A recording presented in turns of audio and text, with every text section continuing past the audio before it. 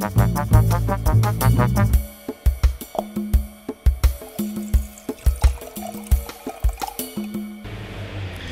to Wine Vault TV, New Zealand's most passionate wine program, and this is a bit of a kind of like throw together um, episode because um, a guy called uh, Henri Eliot has just shown up and he's just given us a couple of bottles of wine, and um, the first one is the Eliot Brothers Marlborough Pinot Noir 2007, and the other one is um, a wine that I don't know whether you can see that Maison Plantevin. Um, uh, it's a Cotes du Rhone. And um, so he's just shown up and um, just a shopping here and then he kind of managed to get kind of two bottles out of his car.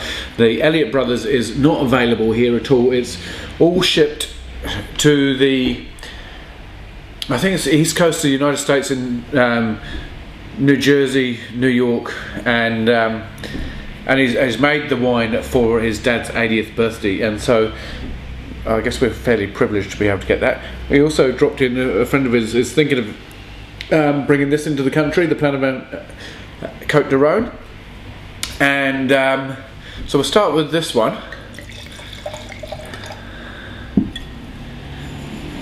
Now I really like Marlborough Pinot, so you get that classic kind of Pinot nose. You get some cherry, but what you and, burnt cherry, kind of red and black cherry. But what you do get with Marlborough Pinot, which I quite like, and it's a bit of funkiness, is that kind of earthy, savoury character, and um, that's on here. Another thing, I don't know whether you can see that it's it's fairly fairly light, kind of ruby colour.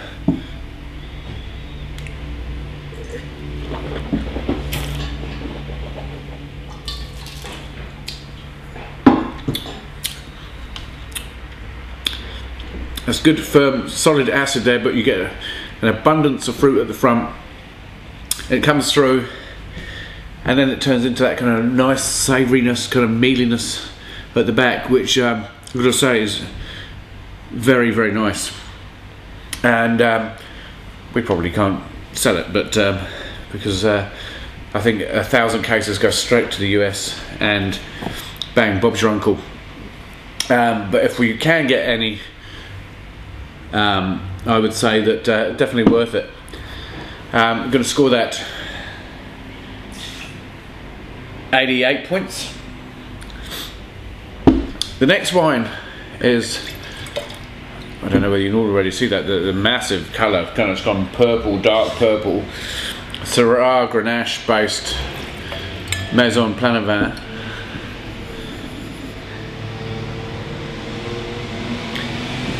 She's almost got a bit of kind of uh, sweaty plimsoll in there initially.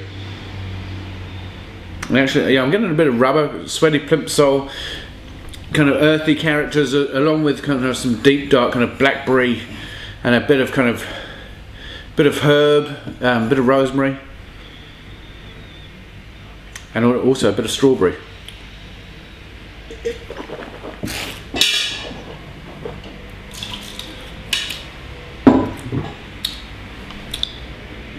Definitely made for food. You get kind of nice, rich, firm tannin in your mouth. You get that lushness that you should expect and that ripeness from the Grenache. I should imagine it's probably about 50-50. You do get a bit of a, a spice there. Um, you get that lovely savoury character as well coming through after the fruit has disappeared. Um, now they're thinking about bringing this wine in, and I would certainly recommend bringing this wine in. Um, I think it's going to sit on the shelves about 20 bucks um, if it does come in. Um, and it is from Viole in uh, southern France, and it's bottled up actually at the Domaine as well, which is uh, for me it's a bit more kind of authentic.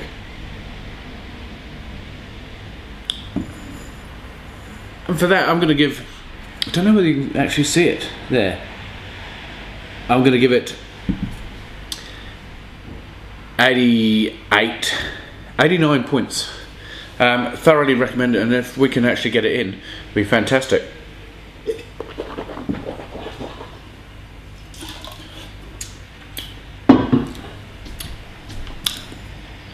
That's what Cote de should be about. Quite nice and dry at the moment, and it's. I actually don't know what year.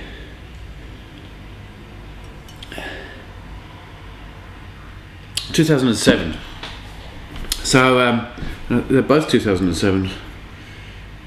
Um, so anyway, still no one's found the wine, um, which is good news for me. Um, it means it carries on a bit, bit further. Now, no one else has scored these wines, I don't think, so that's a bit of a first, quite a novelty. And um, a big thanks to Henri Eliot, um, who's uh, from Montreal, studied in America, um, and yeah, he's all over the place. He's just come back from LA and stuff like that, so it's a, a big shout out to him and uh, thanks very much. Um, two pretty good wines there. Um, so yeah, until the next time, I'll catch you later.